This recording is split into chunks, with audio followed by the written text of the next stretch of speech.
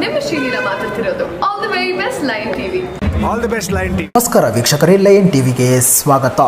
ಕೊನೆಗೂ ಅಗಣಿತ ರಾಮ ಭಕ್ತರ ಕನಸು ನನಸಾಗೋ ದಿನ ಹತ್ತಿರ ಬಂದಿದೆ. ರಘುಕುಲ ತಿಲಕ ಮರ್ಯಾದಾ ಪುರುಷೋತ್ತಮ ಶ್ರೀರಾಮ ಚಂದ್ರನ ಸುಂದರ ಮಂದಿರ ಯಮುನಾ ನದಿಯ ತಟದಲ್ಲಿ ತಲೆ ಎತ್ತಿ ನಿಲ್ಲಲಿದೆ. ಅಯೋಧ್ಯೆಯಲ್ಲಿ ಹಬ್ಬದ ವಾತಾವರಣ ನಿರ್ಮಾಣವಾಗಿದ್ದು, ಸಂಪೂರ್ಣ ನಗರವೇ ಮಧುವನ ಗಿತ್ತೆಯಂತೆ ಸಿಂಗಾರಗೊಂಡಿದೆ.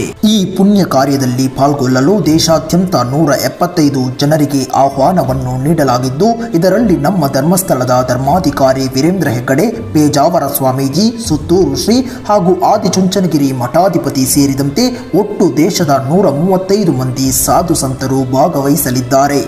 ಈ ಕಾರ್ಯಕ್ರಮದ ವೇದಿಕೆಯಲ್ಲಿ ಕೇವಲ ಐದು ಮಂದಿ ಮಾತ್ರ ಉಪಸ್ಥಿತರಿರಲಿದ್ದು, ಪ್ರಧಾನಿ ಮೋದಿ ಆರ್ಎಸ್ಎಸ್ ಮುಖ್ಯಸ್ಥ ಮೋಹನ್ ಭಾಗವತ್ ರಾಮಮಂದಿರ ಟ್ರಸ್ಟ್ ಮುಖ್ಯಸ್ಥ ನೃತ್ಯ ಗೋಪಾಲ್ ದಾಸ್ ಮಹಾರಾಜ್, ಉತ್ತರ ಪ್ರದೇಶದ ರಾಜ್ಯಪಾಲೆ ಆನಂದಿಬೆನ್ ಹಾಗೂ ಮುಖ್ಯಮಂತ್ರಿ ಯೋಗಿ ಆದಿತ್ಯನಾಥ್ ಇರಲಿದ್ದಾರೆ. ರಾಮಚಂದ್ರಮನ ಆಲಯ ನಿರ್ಮಾಣಕ್ಕಾಗಿ ದೇಶದ ಮೂಲೆ ಮೂಲೆಯಿಂದ ಪವಿತ್ರ ಮೃತ್ತಿಗೆ ಹಾಗೂ ಗಂಗಾಚಲವನ್ನು ಬಳಸಲಾಗುತ್ತೆ. ಅದಕ್ಕಾಗಿ ಈಗಾಗಲೇ ನೂರು ಪವಿತ್ರ ನದಿಗಳ ನೀರು ಹಾಗೂ ಎರಡು ಸಾವಿರ ಪವಿತ್ರ ಕ್ಷೇತ್ರಗಳ ಮೃತ್ತಿಕೆಯನ್ನು ಶೇಖರಿಸಲಾಗಿದೆ. ಭೂಮಿ ಪೂಜೆಯ ಸಂದರ್ಭದಲ್ಲಿ ಭಗವಾನ್ ಶ್ರೀರಾಮನು ಹಸಿರು ಬಣ್ಣದ ರತ್ನಖಚಿತ ಉಡುಪು ಧರಿಸಲಿದ್ದಾನೆ.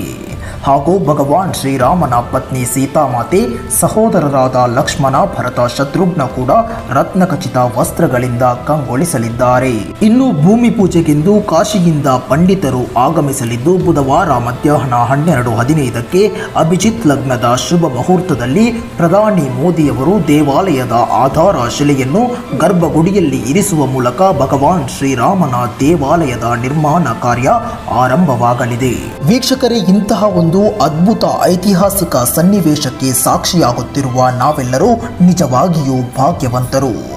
ಈ ರಾಮ ಮಂದಿರ ಭಾರತದ ರಾಷ್ಟ್ರ ಮಂದಿರವಾಗಲಿ, ಇಡೀ ದೇಶಕ್ಕೆ ಶ್ರದ್ಧಾ ಕೇಂದ್ರವಾಗಲಿ, ಹಾಗೆಯೇ ಈ ಮಹಾಮಾರಿ ಕರೋನಾದಿಂದ ಜಗತ್ತನ್ನು ರಕ್ಷಿಸಲಿ ಎಂದು ನಾವೆಲ್ಲರೂ ಆ ಪ್ರಭು ಶ್ರೀರಾಮಚಂದ್ರನಲ್ಲಿ ಪ್ರಾರ್ಥಿಸೋಣ.